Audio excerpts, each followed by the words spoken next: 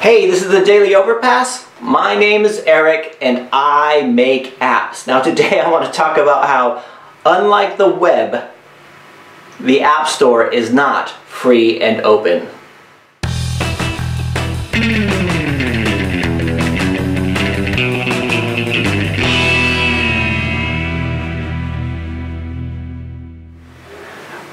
So yesterday I talked a little bit about some of my frustrations with Apple approval process and specifically with guideline 4.3 about app spam and some you know and getting a call yesterday saying they had to consolidate all of my language learning apps into one application and how I thought that wasn't really good but I was kind of like I just got off the phone with them yesterday so I wasn't really that upset about it right? And a lot of you guys have sent really good comments and, and, and Snapchats and everything like that saying, you know, talking about some of your experiences and how this is just sort of like a general thing. I mean, so many developers are, are suffering because of this uh, these these tighter guidelines, right? And I start when I started looking around it, I started looking at you know other developers and how they're affected, and I actually got off pretty lightly. I mean, we have a lot of apps, and we like you know, like I said, for me because because especially a game I mean if, if a game was going to make Candy Crush money then yeah sure we'll we'll go ahead and invest in everything but one of the reasons why we could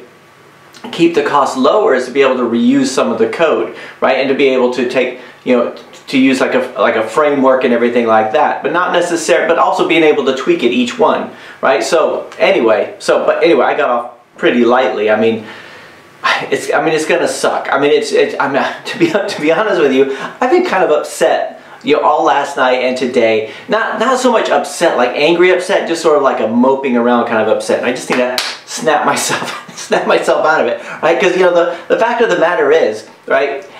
You know, Apple's not the, the only, you know, game in town, right? Uh, there, there's this, let me just show you this graph. I've been saving this because we're going to do a video about this topic, but like here's a, uh, a revenue, uh, sorry, a market share distribution of, of all the uh, all the operating system OSs. And you can see the black line there, that's, uh, that's the Apple OS you know, iOS, and the blue one there is Android. So you can see that Apple actually kind of is maintaining the same market share that it had, but Android is, you know, is just is growing and growing, right? And you know, even when, when I released my first app, it was for Android, right? And I, I thought I wasn't even going to worry about iPhone because I was an Android user. I'm still an Android user, although I'll use like iOS. I have an iPad, which I really like.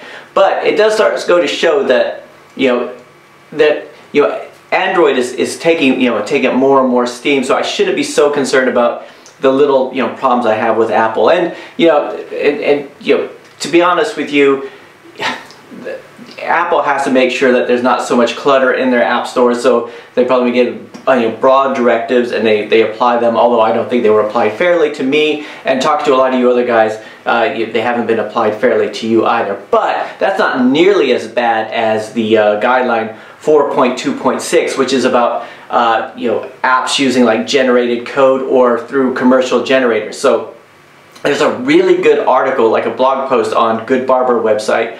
GoodBarber is like a, it's like uh, Appy Pie and all these kind of things, these uh, app generators where you could go with like a WYSIWYG editor and start building an app and it will compile it and release it, right? So it was all about their frustrations with that um, guideline to where, you know, they have to cut back on the amount of iOS that goes out. So, you know, where it used to be, you know, really easy for them to post out to iOS, now they're getting a lot of those rejections back too. And I'm thinking, you know, in comparison, my problems are small with just a few few apps like that. I mean, to be, you know, I, I, don't I don't know if I've ever mentioned this, but we were working for a while on an app generator software like that. We called it Project Viaduct, right? And I spent, you know, this is embarrassing, but I, I, I spent about I spent probably three or four thousand on this before I just realized it wasn't going to work, right? Uh, where, you know, several developers working on it, and in the end we just cut back on it. I thought, you know, there's no way we could do the things that Appy Pie and GoodBarber and what Biz Apps and all that kind of stuff could do, right? But we tried, and we have so much code out there already. I mean, so much code in repositories that's never going to be used.